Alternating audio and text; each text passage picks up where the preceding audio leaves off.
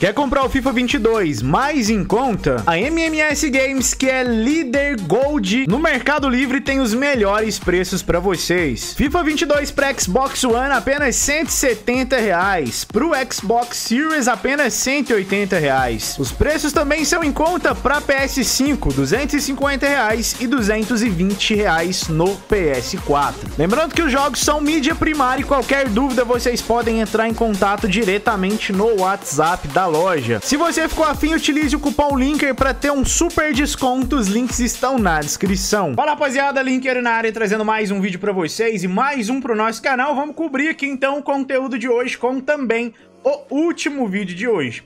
Tivemos aqui os packs de prévia, vou avisar vocês mais uma vez, a EA tá misturando aqui packs normais com packs de prévia, então confere sempre se tá com aquele selo de prévia laranja ali embaixo, antes de você abrir os seus packs de prévias. Porque se por acaso você abrir um pack que não é de prévia, meu queridão, realmente você já perdeu ali suas coins e não tem como reaver, viu? Então fique esperto aí na hora de abrir. Primeiro pack aqui já não é nada, com certeza ela deu uma nerfada nessa parada pro mercado voltar ao normal, né? Eu lei conti. E vamos no segundo de prévia aqui, que é um pack Euro Prime de 45 mil coins, é um pack bem mais ou menos. Vamos ver o que a gente consegue tirar ali. É o walkout, rapaz, ó. Será que é o Mbappé? É o Mbappé? Não. Não é o Mbappé. Será que vale 45 mil coins o, o Theo Hernandes? Será que vale? Eu olhei pelo Futibinha e vale 30, então não vale a pena comprar, não adiantou de nada. Então vamos lá nos objetivos de hoje, cara. Hoje a EA mandou o melhor jogador gratuito por desafio da temporada do FIFA 21. A gente tá falando aqui dele, Alessandrini. São apenas quatro desafios para cumprir esse DME. Vocês têm até sábado da semana que vem para terminar. A gente tem aqui o Gold Crack. Faça gol de voleio em três partidas diferentes no Squad Battles ou no Rivals no mini dificuldade profissional. Driblador técnico, dê 7 assistências no Squad Battles no mini dificuldade internacional ou Rivals com jogadores pelo menos 4 de drible. Atacante garçom, de assistência de bola enfiada com atacantes em três partidas diferentes no mini dificuldade internacional ou Rivals. E a força francesa, faça gol com jogadores franceses em 10 partidas diferentes no Squad Battles no mini dificuldade profissional. Aqui vocês podem montar um time da Premier League, por exemplo, e colocar um cara no ataque inglês e um cara no ataque francês. E esse cara do ataque, ele tem os dois atacantes, né? Eles têm que ter 4 de drible porque vocês vão conseguir fazer o Alessandrini e o Tavernier ao mesmo tempo. Então é um cara que eu recomendo demais que vocês façam. Eu vou mostrar ele pelo Futebin para vocês, para que vocês vejam o potencial de todo esse jogador. Cara, então o Alessandrini Tots já era bugado. Imagina esse. O cara tem 99 de velocidade, tem chute, tem passe, tem drible, tem físico, tem até uma defesinha legal para ajudar. Ele é simplesmente 5 de drible. É isso mesmo que você tá vendo. 5 de drible e 4 de perna ruim. Ele é esquerdo, média na defesa e alto no ataque. O body type dele é average, né? Média. Então, assim, ele não. Se ele fosse lean, ele seria ainda mais ágil. Mas average aqui, média, ainda tá ok. De especialidades, ele tem chute de trivela, drible e ele tem a facilidade de se machucar. A facilidade de se machucar é chato. Mas ele é simplesmente 99 de velocidade. A finalização dele é muito boa, até solucente, tão bom que é. O passe dele é muito bom.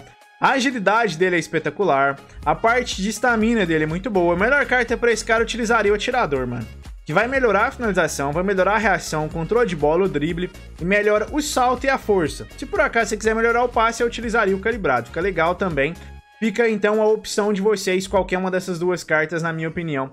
São duas cartas que cabem muito bem no Alessandrino. Cara, você tem que fazer essa carta, independente se você vai usar ou não. Isso aqui é a carta do milênio, é a melhor carta que aí já mandou no FIFA por objetivo. E de DMEs, o que, que a gente teve? Tivemos o DME aqui do Alex Telles, que é um bom lateral, e tivemos também o DME Icon Moments Player Pick. Você vai escolher um entre três Icon Moments Player Pick. Será que compensa? O Alex Telles são dois DMEs. Um do Brasil, que vai te dar um variado, e um da Premier League, que vai te dar um Prime pequeno. Classificação geral 82 está na tela. Vocês vão precisar de um brasileiro. Classificação geral 82, a Química 70. 48 mil coins no PS4, 53 no Xbox, 56 no PC. E a gente tem aqui o da Premier League, que vocês vão precisar de um jogador da Premier, classificação geral 84 e a Química 60. Esse é, o, esse é a resolução mais barata, né, dos dois jogadores. Para mim é um jogador bem interessante, o Alex Telles, está saindo aqui por 141 mil coins. É um cara que tem velocidade muito boa, tem um chute legal, passe bom, agilidade equilíbrio ok. Tem a defesa muito boa, o físico também muito bom. Ele é 3-3, ele é esquerda, é alta, alta, body type é único. Então, assim, rapaziada, é um cara realmente bem interessante. Para você escolher fazer, eu utilizaria o âncora. Ele corre 99, defende o 98 e o físico fica ali é 95. É uma carta muito, muito, muito, muito boa. Porém, a gente tem aqui a carta do Tewell, né? Que é 97 de overall e inclusive tá mais em conta, por 125 mil coins. Então vocês vão ver que o Tewell tem mais velocidade, tem mais defesa e tem mais físico. O restante, é, o, o Tio tem mais VIP também. O restante, o Alex Telles tem mais chute e mais passe. Para mim, o Alex Telles é uma carta muito boa e compensa fazer o Alex Telles para você que precisar de um link com um brasileiro. Por exemplo, você tem um zagueiro brasileiro, tipo um Militão. Você tem o um Militão e tem, por exemplo, o Neymar. Aí você consegue colocar ele ali na lateral esquerda, né? Que você vai conseguir um link melhor do que com o Tio. Então, se você precisa dele para linkar o seu time, para mim compensa fazer. Você joga único exclusivamente com a Premier League, para mim o Tio tá mais ok e até mais em conta. E agora o DME Icon Moments Player Pick tá na tela para vocês, resolução total 540 mil coins, um pouco puxado, né? São três resoluções, um 85, 86 e 87. Essa é a 85 mais em conta do momento, vocês vão precisar de uma classificação geral 85 Informe ou TOTS, 138 mil coins PS4, 144 Xbox, 154 no PC. A classificação geral 86 com a química 50 tá 164 mil coins PS4, 181 no Xbox, 190 no PC. E a classificação geral 87 com a química 45 tá na tela, 185 mil coins PS4, 201 no Xbox e 226 no PC. Rapaziada, é um DME que vai te dar uma chance legal de tirar alguma coisa interessante? É. Mas é um DME que tá custando 540 mil coins. Então assim, cara, por 540 mil coins, por alguns DMEs a mais, você consegue fazer, por exemplo, um Mataus. Que o DME do Mataus tá saindo 676. Então eu prefiro muito mais garantir o certo do que arriscar. Por exemplo, tem o, o Thierry Henry, não, né? Tem o, o Eto'o aqui, que tá saindo 827.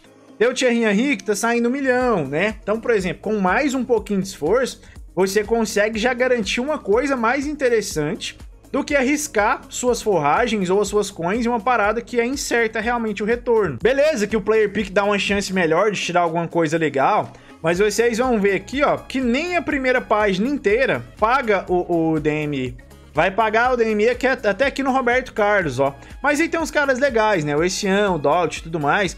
Mas olha só, aqui nessa primeira página tem 30. Então, 1, 2, 3, 4, 5, 6, 7, 8, 9, 10. Então, apenas 20 jogadores pagariam o seu DME. Que aqui o Ronaldo, o Gucci, o Pelé, Ronaldinho, Cruyff, Eusébio. Então, 20 de 100 jogadores. Aí no Player Pick, pode até ser que venha alguma coisa interessante. Mas a chance de vir três caras muito ruins é muito maior, tá? Então eu particularmente não faria.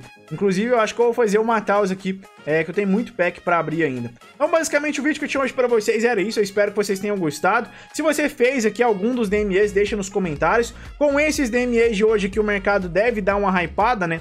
Porque afinal de contas, é, a galera realmente vai ficar fazendo ainda aqueles DMEs de melhoria de jogador do evento. Vocês podem ver que o momento do mercado aqui antes estava ali mais ou menos 40, 50%, agora já está aqui em 72. Então, com certeza o mercado deve subir por causa desses DMEs que chegaram hoje, fechou? Aqui não está mostrando a grande alta, mas o que subiu realmente legal, provavelmente foram jogadores de maior overall. Então vou ficando por aqui, espero que vocês tenham gostado desse vídeo, tamo junto demais, aquele abraço, é nóis, e eu...